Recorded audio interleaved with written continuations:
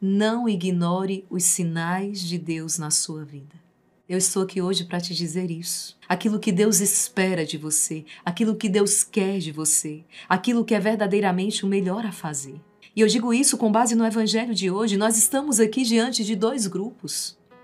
Um grupo de mulheres que tornam-se elas testemunhas da ressurreição e um outro grupo de guardas que tornam-se prisioneiros da mentira. Eu sou a irmã Maria Raquel do Instituto Hesed. Hoje, dia 1 de abril, segunda-feira de Páscoa. E uma alegria enorme estar aqui com você. Já quero fazer um convite, você que ainda não se inscreveu no canal, clica nesse botão que está aqui abaixo do vídeo. Estarei rezando por você, estarei rezando por suas intenções. Já deixa o seu like, assim você nos ajuda a evangelizar. Eu tenho inclusive duas novidades para partilhar com vocês, vou deixar para o final do vídeo. Vamos então ao Evangelho, em nome do Pai, e do Filho, e do Espírito Santo. Amém. Evangelho segundo São Mateus, capítulo 28, versículos do 8 ao 15. Naquele tempo, as mulheres partiram depressa do sepulcro, estavam com medo, mas correram com grande alegria para dar a notícia aos discípulos. De repente, Jesus foi ao encontro delas e disse: Alegrai-vos. As mulheres aproximaram-se e prostraram-se diante de Jesus, abraçando seus pés. Então Jesus disse a elas: Não tenhais medo. E de anunciar aos meus irmãos que se dirijam para a Galileia. Lá eles me verão. Elas, quando as mulheres partiram, alguns guardas do túmulo foram à cidade comunicar aos sumos sacerdotes tudo o que havia acontecido. Os sumos sacerdotes reuniram-se com os anciãos e deram uma grande soma de dinheiro aos soldados, dizendo-lhes: Dizei que os discípulos dele foram durante a noite e roubaram o corpo, enquanto vós dormíeis. Se o governador ficar sabendo disso, nós o convenceremos. Não vos preocupeis. Os soldados pegaram dinheiro e agiram de acordo com as instruções recebidas, e assim o boato espalhou-se entre os judeus até ao dia de hoje. Palavra da salvação, Glória a vós, Senhor.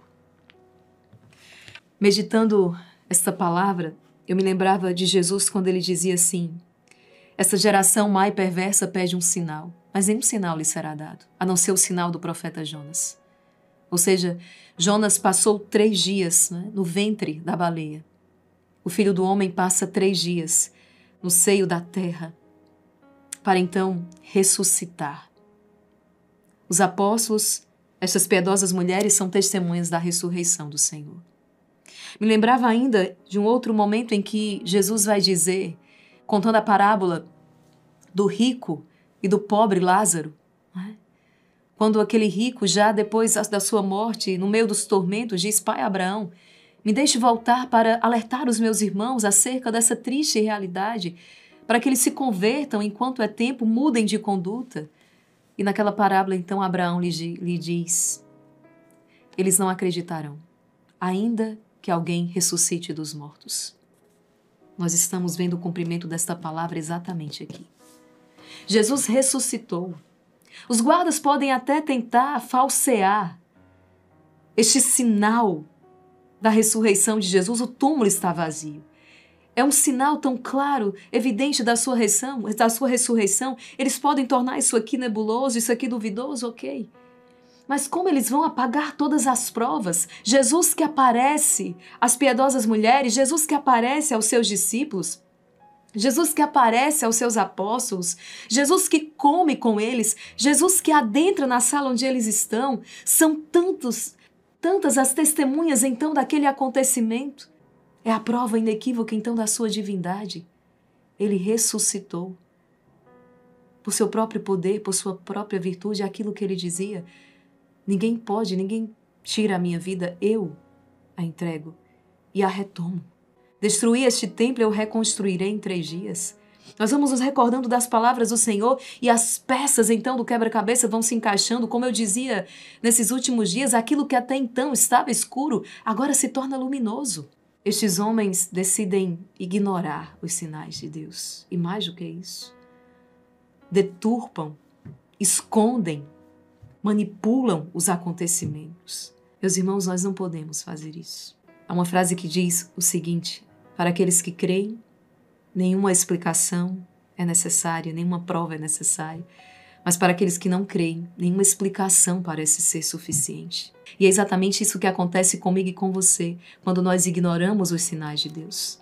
Quando nós nos fechamos à verdade de Deus, à verdade do Evangelho. Ao ignorar Deus, estamos ignorando a nossa salvação, a nossa cura, a nossa libertação, a nossa felicidade. Que possamos abrir o nosso coração para os sinais de Deus na nossa vida. Essa palavra de Deus que chega hoje até você, sim, podemos já considerar um sinal que Deus nos dá de que Ele está contigo. Bendito seja Deus por esta palavra. E escreve aqui nos comentários: eu acolho os sinais de Deus na minha vida. Não é? Eu acolho, eu me abro aos sinais de Deus, à voz de Deus na minha vida. Compartilhe esta palavra. Quantas pessoas hoje perdidas, desorientadas, e você pode ser um instrumento de Deus também na vida destas pessoas. Por isso, compartilhe, escolha hoje pelo menos cinco pessoas. Deus abençoe você e até amanhã na meditação diária da Palavra de Deus.